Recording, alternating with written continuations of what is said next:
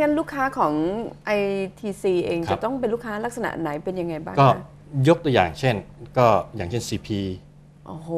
นะครับ ผูกขาดขายใหญ่เลอ๋อยไม่นะคะ ไม่ไม่ฮะไม่ฮะค่ะผมผมผม CP ผมผมผมไม่ได้ผมไม่สามารถผูกขาดค่ะได้ค่ะค่ะ นะฮะแต่แต่แต่แต่เพียงเพราะว่าเอ่อท่านไว้วางใจเราค่ะนะค่ะท่านไว้วางใจค่ะเรานะครับ แล้วก็เอ่อเราก็มีการบริการที่ดีอืมนะครับค่ะเพราะว่าเราเรามองอยู่เสมอนะฮะว่า ว่าระบบมันอยู่ได้อยู่ที่คนกับระบบเท่านั้นเองค่ะนะครับเพราะฉะนั้นเราต้องปลูกฝังให้คนนะฮะวัฒนธรรมของของบริษัทคือปลูกฝังให้คนมีมีวัฒนธรรมของผู้รับใช้โอ้โหเหรอนะรับใช้ผู้รู้ใช่รับใช้บริษัทเหรอคะอ๋อไม่ไม่ไม่รับใช้ลูกค้าฮะ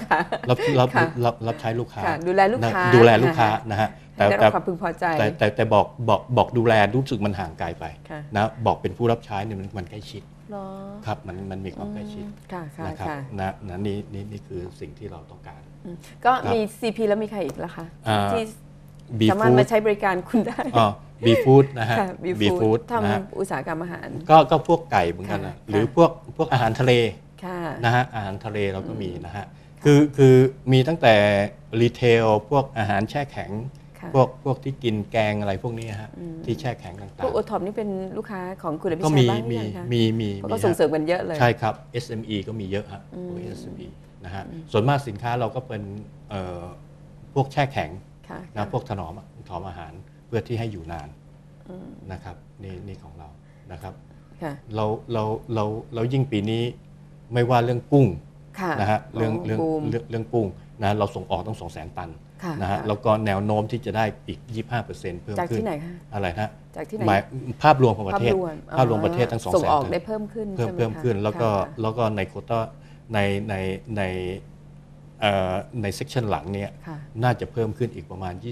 20-25%ในภาพรวมของประเทศนะครับเนื่องจากอ่าวเม็กซิโกมีปัญหาอยู่ในเรื่องของที่ BP เกี่ยวอ๋อใช่ในเรื่องของน้ำมันน้ำมันนะคะนะฮะอืมเพราะฉะนั้นสหรัฐก็มองในในทางด้านเอเชียนี้ ปลาประมงบ้านคบเราอะไรคบนี่น่าจะครับ ขายดีขึ้นขายใช่ไหมดีคะขึ้นฮะขายดีขึ้น ซึ่งซึ่งตัวนี้ก็จะมีผลกับตัวธุรกิจของ I- ITC ด้วยครับใช่ไหมคะใช่ครับใช่ครับมันมันมันก็จะมีแนวโน้มอย่างนี้เพิ่มขึ้น อ๋อเราก็ขยายกำลังการผลิตสร้างห้องเย็นใช่ไหมถูกคะ ต้องครับถูกต้องเราค่ะ เราเป็นผู้ออกแบบออกแบบออกแบบแล้วค่ะสร้างให้ลูกค้า อ๋อทั้งออกแบบแล้วก็สร้างสร้างด้วให้ย ลูกค้าตามถูความบต้องการเหรอคะ ถูกต้องครับตาม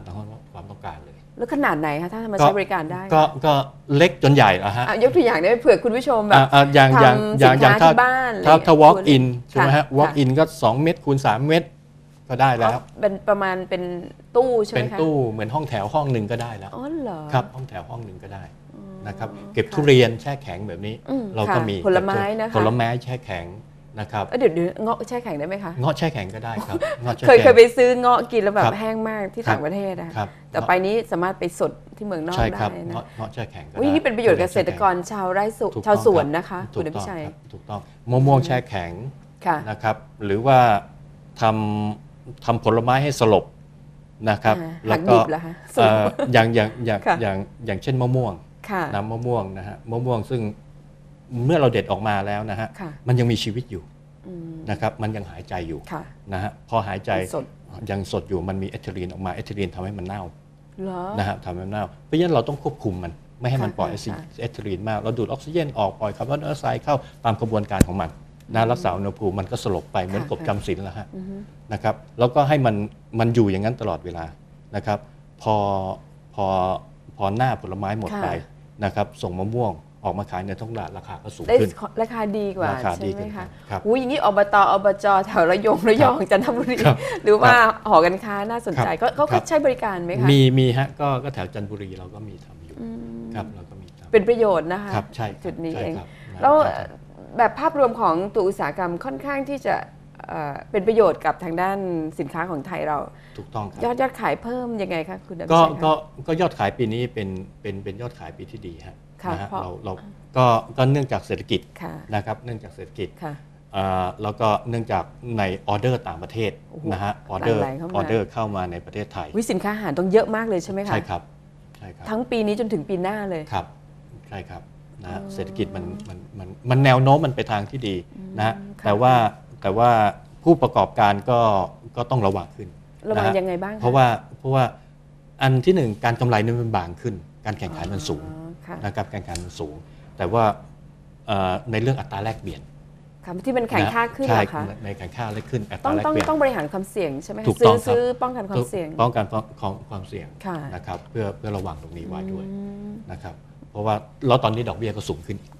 นะครับเมื่อวานได้ค่ะประกาศมาอีก 25สตางค์ใช่ค่ะนะครับเพราะฉะนั้นเพราะฉะนั้นการบริหาร การทำธุรกิจน่ะถึงแม้มันมันดูเหมือนดีมันดูเหมือนดีค่ะแต่มันในในในเบื้องหลังมันก็มีความเสี่ยงหลาย ๆ อย่างก็ต่อเนื่องนะครับ ความเสี่ยงหลาย ๆ อย่างค่ะที่ต้องระวังอ๋อนะครับแล้วทางคุณคุณอภิชัยเองอุตสาหกรรมห้องเย็นเอง ปัจจัยบวกปัจจัยลบมันยังมีอะไรอยู่ตอนนี้ค่ะที่ก็ส่งเสริมธุรกิจค่ะก็ก็ในในเรื่องปัจจัยบวกก็แน่นอนในเรื่องของเศรษฐกิจค่ะเพิ่มขึ้นค่ะนะฮะในเรื่องของเอ่อปัจปัจัจยจัลยบเสี่ยงค่ะในในเรื่องของปัจจัยเสี่ยงในเรื่องของภาษีนำเข้า นะครับนำเข้าอะไรล่ะคะไม่เราเราเราต้องนำเข้าอุปกรณ์อ๋ต่างอๆจากแล้วจากเมือเทงคนอโนกโลมายีใช่ไหมคะเอ่อเรื่องเครื่องจักรอืมนะเรื่องเครื่องจักรบางตัวเราไม่ได้ได้นะถ้าเราเราซื้อ spare part มาภาษียังสูงอยู่นะครับแต่ละถ้า complete set เรามาเนี่ยภาษีต่ำนะครับมันมันมันค่อนข้างตรงข้ามกันค่ะค่ะนะครับเพราะฉะนั้นทำไมเขาไม่อยากให้เราทำล่ะเอ่อมันมันเป็น structure ของภาษีตั้งแต่อดีตอ๋อนะครับต้องต้องไปศึกษาประวัติศาสตร์ว่าเพราะอะไรค่ะนะฮะแต่ว่าเราก็เราก็พยายามที่จะคุยว่า ถ้าหากเราเราจะสร้างแรงงานในประเทศ แล้วก็เราจะสร้าง สร้าง engineering เทคโนโลยีค่ะ สร้างเทคโนโลยีเอง สแปร์พาร์ทมันน่าจะถูก อืม ถูกไหมใช่ของแล้วมาประกอบในเมืองไทยค่ะมันค่ะให้ให้มันสู้กันได้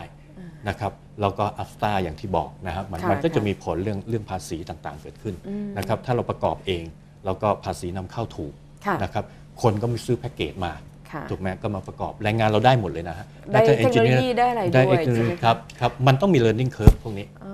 นะครับ เพราะว่าบริษัทเราก็ learning curve มาจนสร้างเครื่องจักรเราเองได้อ๋อครับมันเป็น learning curve อยู่อยู่อยู่ดีๆ แล้วเราไม่มี learning curve จนการทำเหมือนกับเราประกอบจักรยาน ถ้าค่ะเราไม่ค่ะเราไม่เคยประกอบจักรยานซื้อจักรยานมามาทั้งเราตัวเราก็ประกอบไม่ไม่เป็นมีความรู้อะไรไม่มีความรู้อะไรอืมนะครับค่ะถ้าเราประกอบเองเราก็สามารถมีเทคโนโลยีของเราได้โอ้ครับนี่นี่ทำธุรกิจนี้มา 28 ปีแล้วนะคะครับคุณผู้ชม28ต้องถือได้ว่ามีประสบการณ์อะไรอีกมากมายนะคะครับที่สร้างประโยชน์ให้กับทางด้าน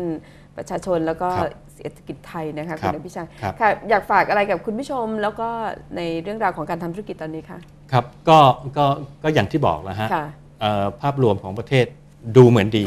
นะแล้วแล้วแล้วมันก็ดีจริงๆนะฮะค่ะมันก็ดีค่ะจริงๆ แต่ว่าในในในภาพที่เรามองไม่เห็นมันยังมีอีกมาก ต้องระเพวัราะงฉะนั้นตัวเพราะฉะนั้นต้องระวังตัวค่ะนะฮะไม่ว่าดอกเบี้ยไม่ว่าอัตราความเสี่ยงไม่ค่ะว่าอะไรต้องระวังตัว เพราะฉะนั้นการการทำธุรกิจมันก็คือทำธุรกิจให้ให้ให้ให้ระวังตัวแล้วมีความพอเพียงอยู่ในตัวด้วยนะครับขยายตัวโดยที่เงินทุนของตัวเองน่าจะดีกว่า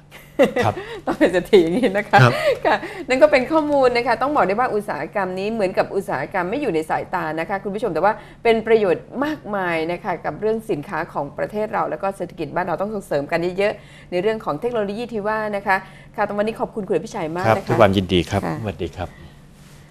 ค่ะ คุณผู้ชมเดี๋ยว